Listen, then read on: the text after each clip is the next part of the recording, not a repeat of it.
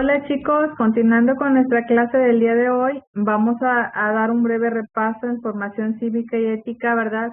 Sobre los temas que nosotros ya este, vimos y que serán considerados para nuestra pequeña evaluación.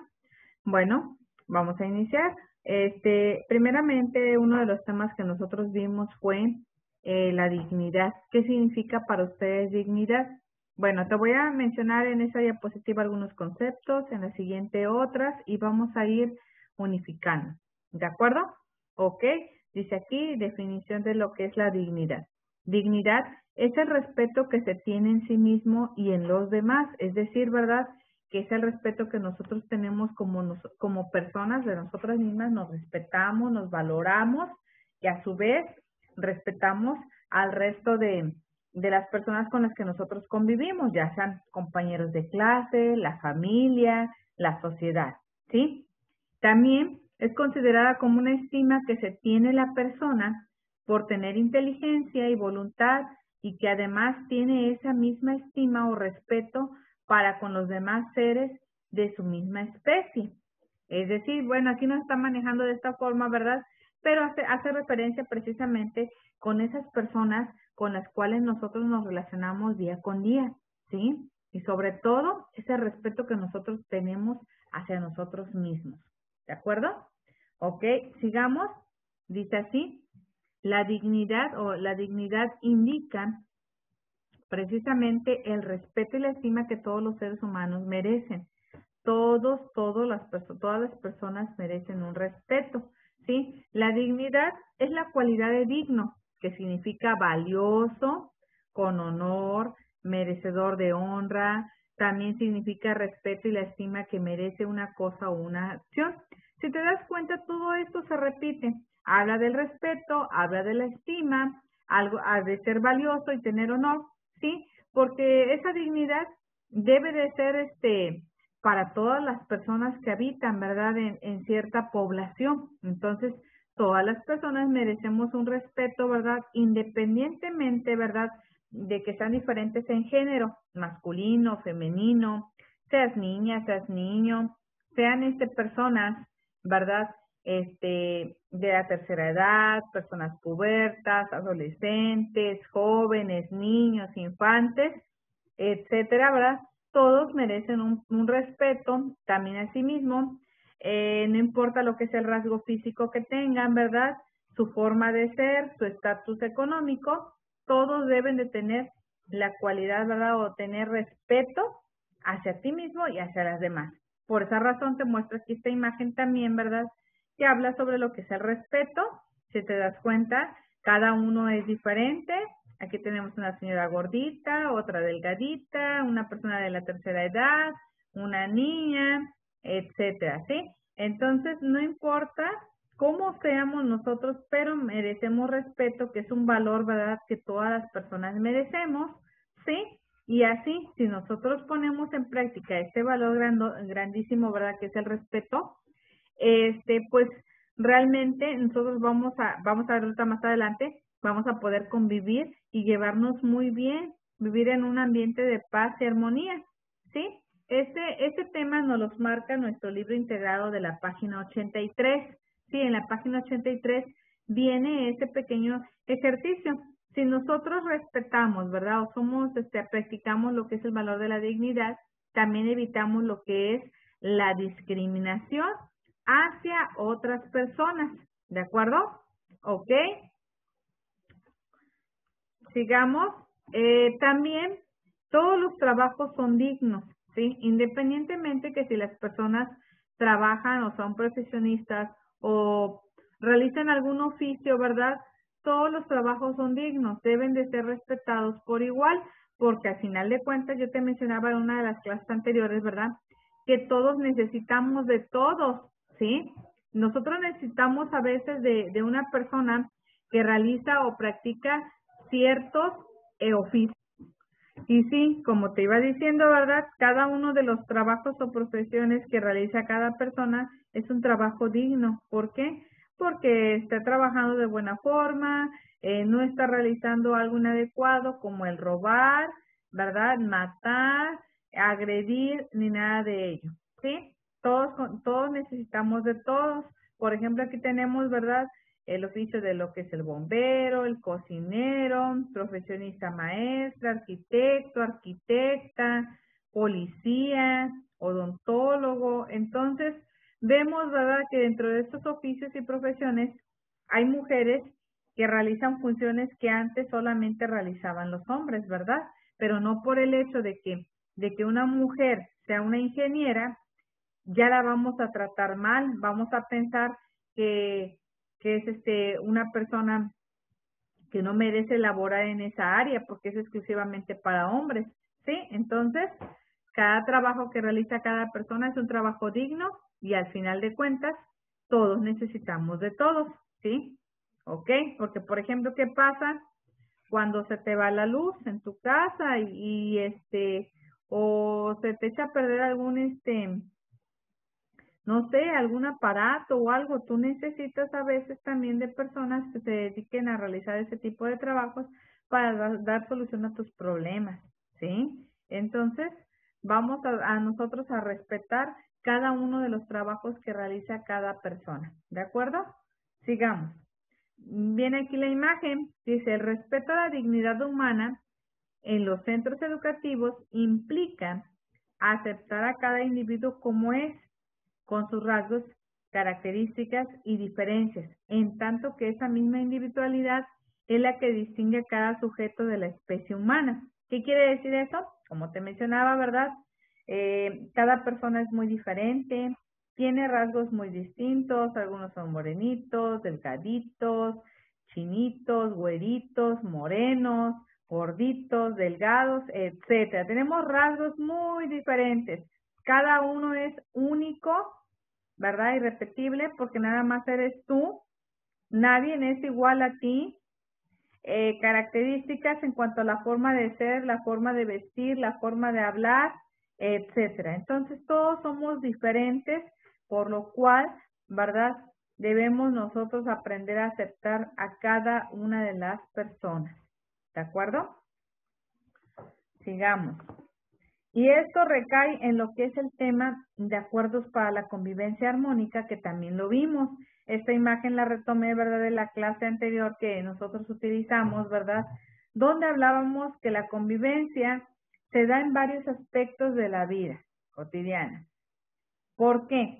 Porque nosotros convivimos o platicamos, dialogamos, interactuamos. Primeramente, el primer punto, que es el hogar. El hogar es el primero donde nosotros establecemos una buena comunicación con nuestros padres, con nuestros hermanos, con nuestra familia, y es ahí donde nosotros practicamos diversos tipos de valores que nuestros padres nos enseñan, ¿sí? A partir de ahí empieza lo que es la convivencia. Bueno, cuando estás en otro entorno, que es, por ejemplo, la escuela, ¿verdad? Ya te empiezas a relacionar con gente que no es de tu familia pero debes aprender a interactuar, a relacionarte con todos para evitar conflictos, eh, lo que es este, ¿cómo se llaman? Conflictos, problemas, peleas, ¿sí? Eh, que lleguen a afectar también a otro tipo de niños, ¿sí? Entonces sí es importante, ¿verdad? Evitar lo que es la violencia, la agresión. Acuérdense que vimos también en, en clases anteriores lo que fue la violencia, la, agresión física, psicológica y lo que es la verbal, ¿sí? Para no caer en todo eso, empezamos, ¿verdad? desde lo que son los valores que practican, se practican en casa y los aplicamos dentro de la escuela, ¿sí? Acuérdense que yo les recalcaba mucho, ¿verdad? Que nosotros somos el reflejo de lo que nosotros aprendemos en casa. Entonces, sí debemos de aprender a aceptar a otras personas que son diferentes a nosotros. ¿De acuerdo? Entonces aquí vemos la imagen de convivencia armónica. Vemos, ¿verdad? Están interactuando dentro de la escuela, área familiar, puede ser aquí, ¿verdad? Con, con la familia, conocidos, amigos, etcétera. Sigamos. Para convivir pacíficamente, como decíamos anteriormente, ¿verdad? En la sociedad debes de reconocer las diferencias entre las personas sobre todo practicar el valor de tolerancia y respeto, ¿sí? Eh, debe de ser tolerante y respetuoso de las ideas, formas de vida, las costumbres, la etnia, la religión, la lengua, condición social y puntos de vista de, la, de los demás, aunque sean contrarios a los tuyos. Acuérdate que nosotros no somos iguales, todos somos diferentes y debemos aprender a, poner en práctica el valor de la tolerancia y el respeto. Acuérdense que también ya lo habíamos comentado. En la actualidad se practican varias religiones, ¿sí? Varias, varias costumbres tienen. Algunos, este, algunas etnias, ¿verdad?, que se están perdiendo en cuanto a la forma de ser de cada persona, ¿verdad? Llegan a la ciudad y se pierden lo que son este, las lenguas indígenas también, la forma de vestir, la forma de ser, algunas costumbres, algunas formas de vida que antes tenían ellos, ¿verdad? Se van perdiendo. ¿Por qué razón? Bueno, ese es otro tema ya adicional, pero aquí lo importante es saber, ¿verdad?, que debemos aprender a ser tolerantes y respetuosos. Cuando existen muchos puntos de vista, como nos menciona aquí, ¿verdad? Eh, muchas ideas, se le llama pluralidad de opiniones. Pluralidad, estamos hablando del plural, o sea que es muchas ideas, muchas opiniones en la vida actual podemos tener y nadie es igual a otro. Y dice, cuando existe esta diversidad, se debe de aprovechar en grupo porque se enriquece la convivencia, ya que se aprende de los demás. Eso sí lo habíamos mencionado también, ¿verdad? Que si nosotros aprendemos a ser tolerantes y respetuosos, pues nos puede ayudar mucho esta pluralidad de opiniones. Por ejemplo, cuando trabajan en equipo, ¿verdad? Algunos niños tienen diferentes puntos de vista y eso hace que también establezcan buena comunicación, respeto y trabajen en conjunto y al final entreguen un buen trabajo entre todos. ¿Sí? ¿Por qué? Porque se está tomando en cuenta la opinión de todos los alumnos y el trabajo también de cada uno y sobre todo, ¿verdad? La comunicación. ¿De acuerdo? Entonces seguimos.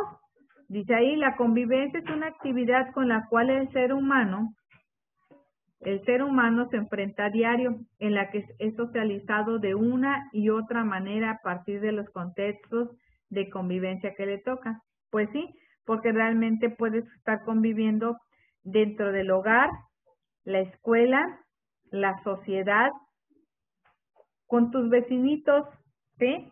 Ahora bien, la escuela es el lugar apropiado de aprendizaje. Allí interactúan con personas que no son parte de su familia a través de múltiples interacciones diarias como actividades habituales, encuentros, diálogos, discusiones. Pueden aprender las habilidades básicas de la convivencia democrática, respetar turnos hasta resolver conflictos propios del convivir con diferentes personas. Así es, cuando nosotros interactuamos, ¿verdad?, este, dentro de lo que es la escuela, pues existen algunas reglas que se deben de respetar.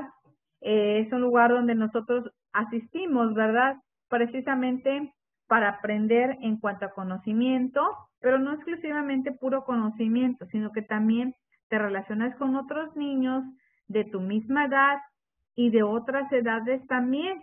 ¿sí? Porque no nada más platicas con, con tus compañeros del salón, también platicas con niños de otros grados, primero, segundo, tercero, y así sucesivamente, ¿verdad?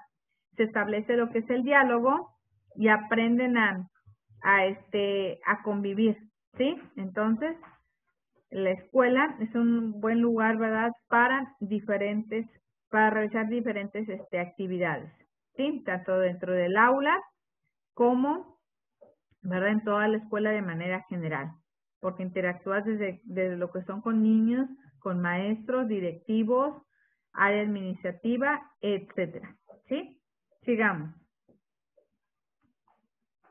Sigamos. Entonces, también dentro de lo que fue la convivencia, este, la convivencia y la escuela, ¿verdad? También ustedes elaboraron una estrategia, elaboraron estrategias, ¿verdad? Que se pueden implementar precisamente para lograr este la paz, la armonía dentro de un ámbito. Habíamos mencionado que dentro de la escuela es importante respetar lo que es el reglamento escolar, ¿sí? El reglamento escolar que te establecen eh, por área de, el área administrativa o dirección ¿verdad? El que tus padres firman. También habíamos mencionado que dentro del aula también se elabora otro reglamento escolar, pero ese es interno dentro del aula. Entonces es importante respetar cada uno de los reglamentos que se, se elaboran. También, ¿verdad? Es importante establecer lo que es el diálogo, la buena comunicación. Cuando existe algún conflicto, ¿verdad? Se debe de solucionar en el instante, se debe de hablar, ¿sí? También es importante que tú te expreses cuando algo te incomoda, cuando algo no te parezca, debes de aprender a expresarte, hablar sin temor, ¿verdad? Para que se solucione cualquier tipo de conflicto que haya dentro de lo que es el aula, ¿de acuerdo? Bueno, esas fueron algunas de las estrategias que habíamos mencionado de lo que se puede hacer para poder este, lograr precisamente, ¿verdad? Una buena interacción con los alumnos, con todos, de manera general. No sé si recuerdes este algún otro. Mencionamos varios, ¿verdad? Como se muestra aquí en la imagen.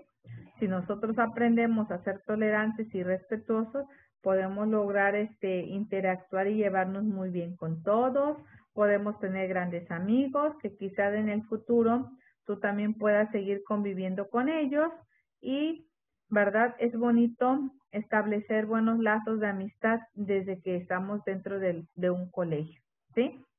Bueno, chicos, pues eso fue nuestro pequeño repaso. Eh, para que tú este, vuelvas a checar, puedes checar tu libro integrado, ¿verdad? Solamente fueron tres temas los que vimos dentro de lo que fue este periodo. ¿De acuerdo? Bueno, pues entonces nos vemos más tarde. Si llegases a tener alguna duda, te comunicas conmigo. ¿De acuerdo?